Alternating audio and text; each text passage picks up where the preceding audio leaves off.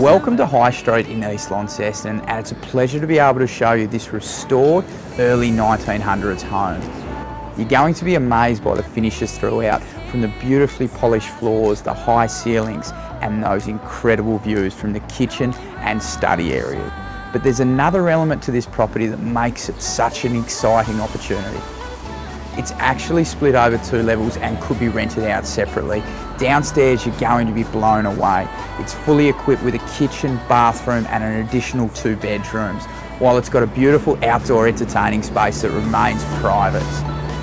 The access to both of these is completely separate, so why not live upstairs and rent out downstairs or use it as an Airbnb opportunity? So I'm going to let you enjoy what's on offer here and I'll see you at the end of the video.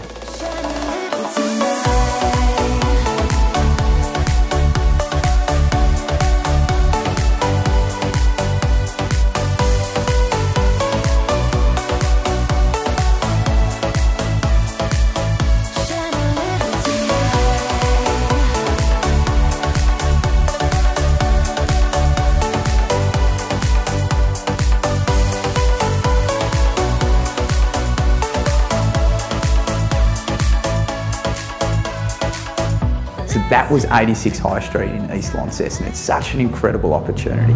Everything's within walking distance here too.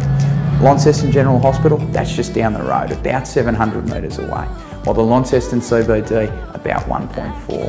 It's such a pleasure to be able to showcase this property and I can't wait to show you through it. You know what to do? Give me a call and we'll go from there.